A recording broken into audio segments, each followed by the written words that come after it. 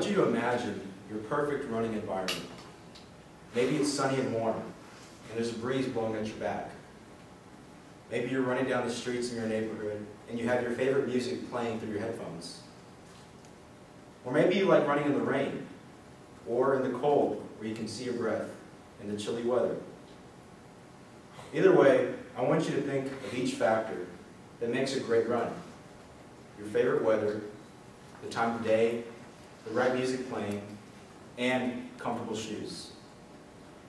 Now, many of these things we cannot control. The weather, the environment, how we feel. However, you can control what we wear, or we can control what we wear. That will make for a great run.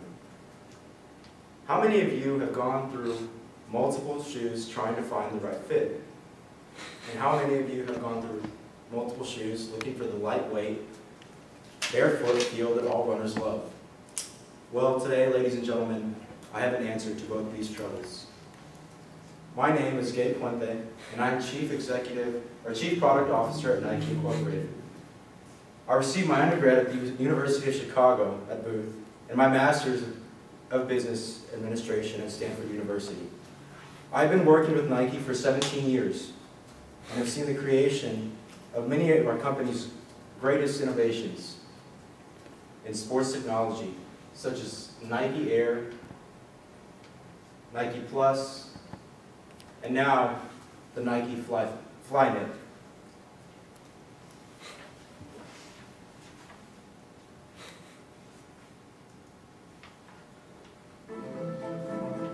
What I'm going to show you will completely change the way you run, as well as change the entire running shoe market. Here, ladies and gentlemen, I have the Nike Flyknit, a revolutionary new running shoe that weighs only 5.6 ounces, making sure that you have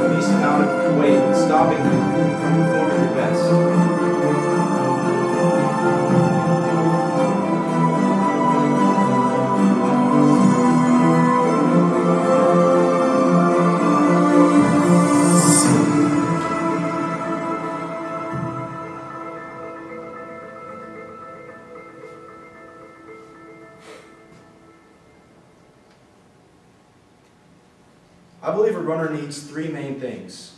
A positive attitude, a will to challenge themselves, and a great pair of shoes. A great pair of shoes ensures that your feet can keep up with your drive and attitude while running. One of the things that the Nike Flyknit offers runners is the most lightweight shoe on the market. The design of the Flyknit shoe mimics the feeling of being barefoot, the feeling that many runners strive to achieve. The, the technology that is able to create the, this lightweight shoe is a sewing machine, which weaves the whole top part of the shoe in one piece with a specifically designed yarn designed by Nike. This is then attached to the sole of the shoe and it creates this product you see here.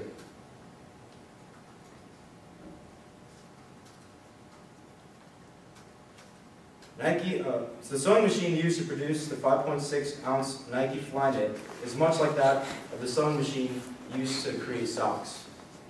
Nike engineers used this template to create a machine that would make something as light as socks into something that would fit into a shoe.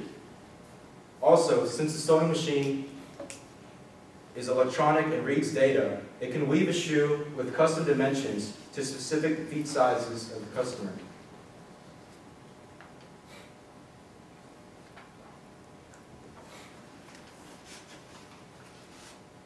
I want to go over some of our competition. First, I'm going to talk about the Vibram Five Finger Shoes, which are the shoes on your left. You may have seen these shoes, and they're called Five Fingers because they fit each, each one of your five toes. Uh, the, the, the biggest thing about these is the toe factor. The toes on your feet help to help the foot to make certain The toes help the foot develop certain muscles that allow for a greater stride and increase flexibility uh, of your movement. They don't offer much protection for your feet, however. So while you may feel like you're running barefoot, there is not a lot of protection underneath your foot. The, shoe fit, the shoes fit more like tight socks, and therefore they might not fit your specific foot size. The Nike Flyknit can give you a custom fit. Next is the New Balance Minimus, which is on the far right. The New Balance is lighter than the Nike, weighing it at 4 ounces. It offers great support on the bottom in key areas of foot tension, but the cutout valleys on the sole of, your, of the foot, where the pressure wasn't, isn't placed. They did this to cut off, um, to cut down on, on weight. However, this leaves a lot of room for penetration on the gravel or whatever you may, might step on. So it could be a dangerous option. Lastly, the Merrell barefoot shoe, which is bottom center, is a lightweight and comfortable shoe. However, the sole and structure are made to conform to rough terrain and may cause discomfort. Where the Nike Flyknit wrap, wraps around your foot and does not restrict the, the toes or the rest of your foot. We've already seen great success with a Nike Free, a lightweight, minimalist shoe, but not a barefoot runner. The release of the Nike Free launched our company's footwear sales to 21% in three months. The Nike Free was marketed towards a smaller group of runner athletes, but it took off and is now one of the top-selling products Nike has to offer. The Flyknit is not is a lot like the Nike Free in that it in that it's lightweight, but we also believe this shoe can do the same thing that the Nike Free did, did and expand to other markets. We're not only selling a shoe that simulates barefoot running perfectly, but also a custom-made, lightweight shoe for the everyday consumer.